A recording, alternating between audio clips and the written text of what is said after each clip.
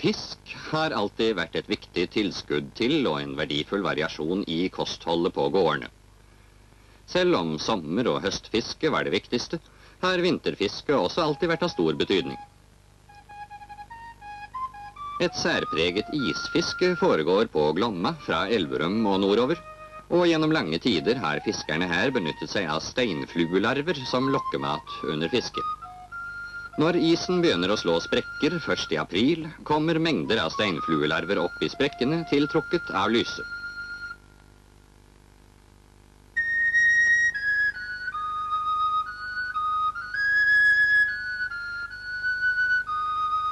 Steinfluene er en artsrik insektgruppe, og larvene lever hovedsakelig i kaldt, rennende vann. Dette er primitive insekter som har forandret seg lite de siste 100 millioner år. Når larvene kommer opp på isen, utvikles de til ferdig flue i løpet av kort tid. Man kan med øyet følge forvandlingen og se hvordan vingene strekkes. Fullt utviklet er flua på størrelse som en mygg. Enkelte steinfluearter spiller stor rolle som mat for fisk. Glommafiskerne har lært å benytte seg av dette, og har i lang tid brukt larvene som lokkemat under isfiske. Ved de første tegn på flue blir det fart i fiskerne, og de får det travelt med å skjære seg fiskedoning.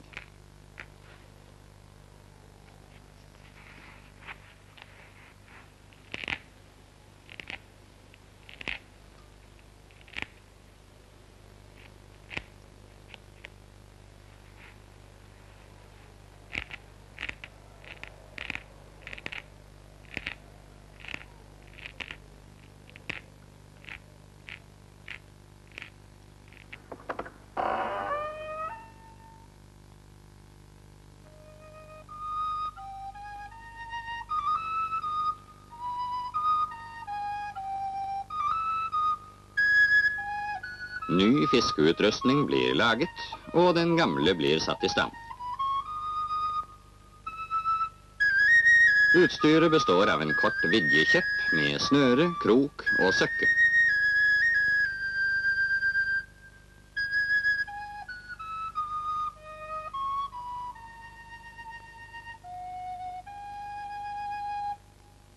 I gamle dager ble mark alltid brukt som agn, men i dag er en dobbelt kroket flue med avklipte vinger det mest vanlige. Langs elvelandet ved Grindalen har det alltid vært store forekomster av larver. Og det er dette stedet som har gitt navnet til Grindalsfluefiske. Fluetaket foregår på bestemte steder, og fiskerne hogger hull i vårisen for å samle larver, eller sprele, som mange sier.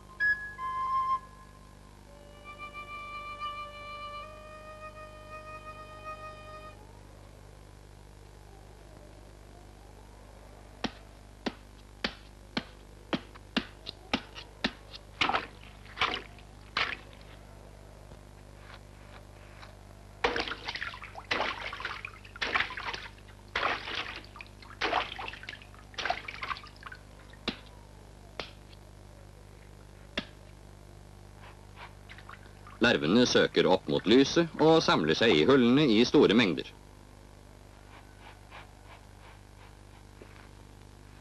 For å hindre larvene i å komme opp på isen og få vinger, tettes hullene til med snø. Vingeflua er nemlig ubrukbar som lokkemat, da den ikke synker.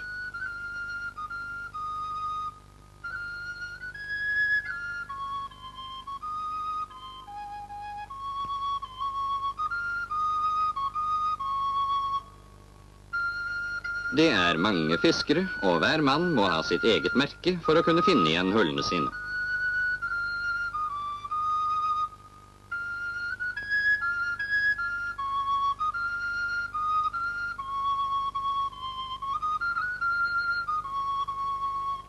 Hullene står pakket med snø natta over, for det er best oppgang av larver i natte- og morgentimene.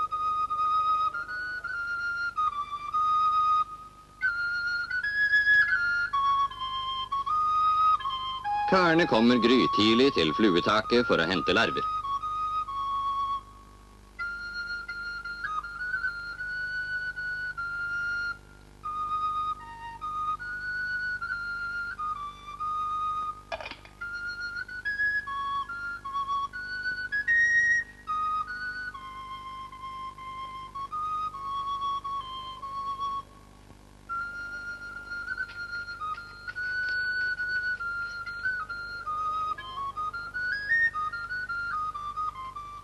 Først fjerne snølokket over hullet. Og så er det bare å øse opp alt som har samlet seg i nattens løp. På de beste dagene er det millioner av larver. Det hender også at fiskerne tenner lys ved hullene om natten for å få larvene til å gå opp. De første trekkfuglene er også interessert i grindalsflua.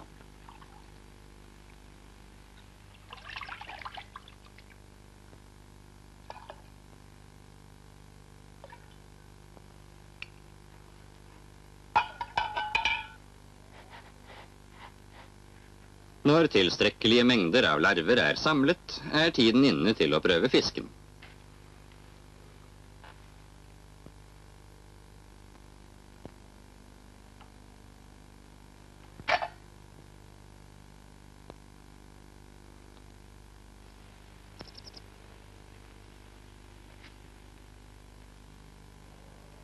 De fleste fiskerne har sine favorittplasser.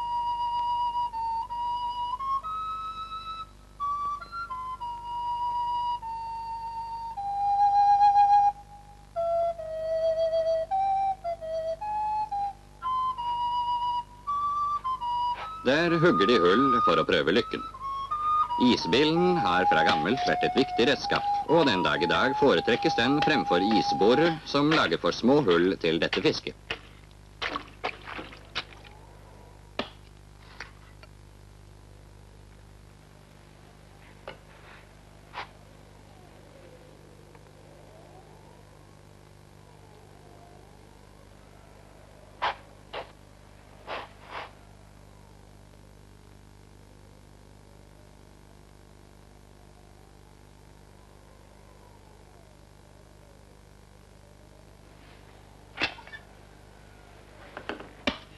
Det kan bli lange og kalde dager på isen, og reinskinnet er noe av det beste en kan ligge på.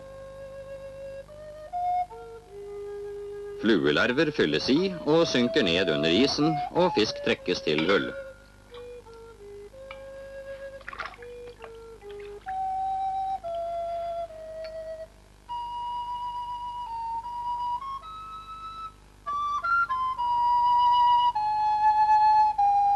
Karene må ligge og følge nøye med for å se når fisken biter. Den må nemlig krøkes med det samme, da den ellers spytter ut kroken.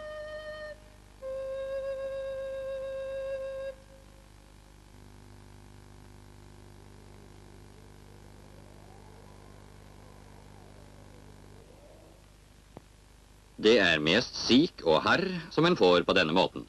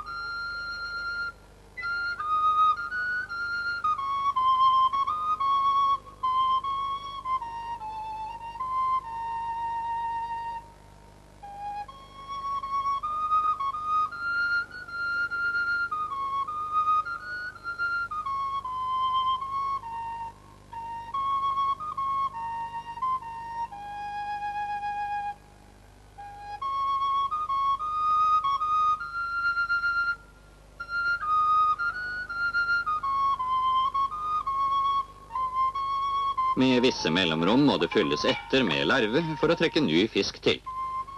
Siken er en stimfisk, og har en først fått stimen til hullet, kan en ofte dra fisk temmelig jevnt.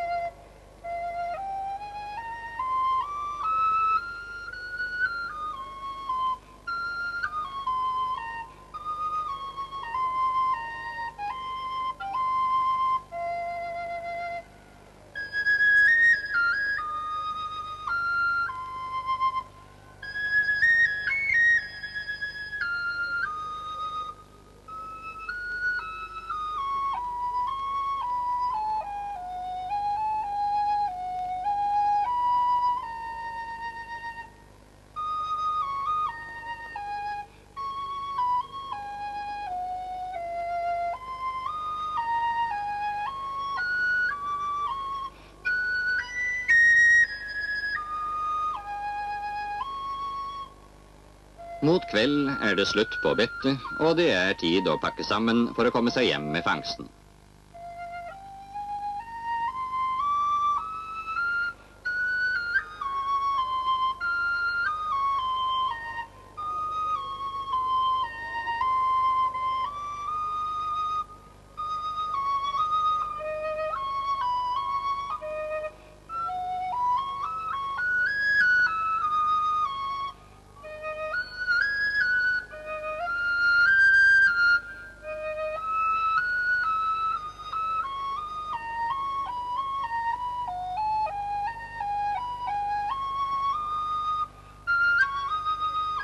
Iblant blir det sent før fiskeren kommer hjem. Og da blir fisken ofte gravd ned i snøen for oppbevaring til neste dag.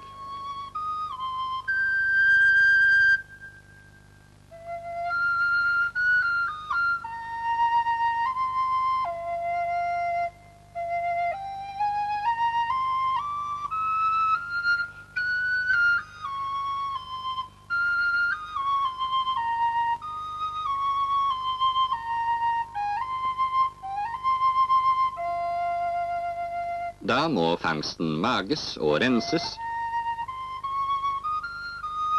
Og det som ikke kan brukes med det samme, må legges ned.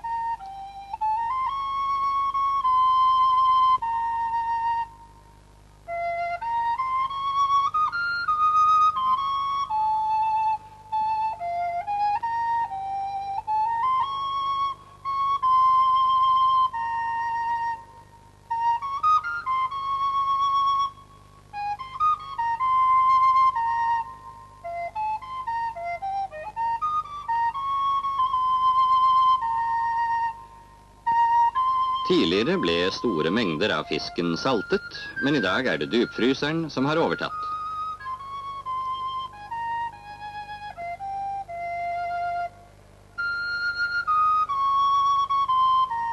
Sesongen er kort og hektisk, for vårisen er uberegnelig, og plutselig en dag er den borte.